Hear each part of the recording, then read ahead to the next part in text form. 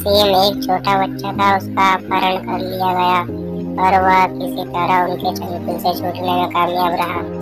वह बहुत डरा हुआ था और अपने अपहरण के बारे में किसी को कुछ कहने की स्थिति में नहीं था। जासूस मेहुल ने सेम से अपने कुछ जानकारी निकालने की कोशिश की, पर सेम एकदम चुप था। कहने के बजाय सेम ने मेहुल को अपना बनाया गया चित्र दिखाया। जो उसने अपहरण के समय बनाया था।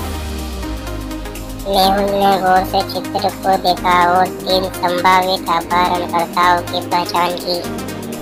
नौकरानी मैं सब्ज़ी लेने बाहर गई थी। पेंटर मैं पीछे के कमरे में पुताई कर रहा था। गार्ड मैं तो गेट के बाहर खड़ा था। तो फिर असली अपहरणकर्ता कौन हो सकता है? आपके पास पाँच सेकंड का वक्त है।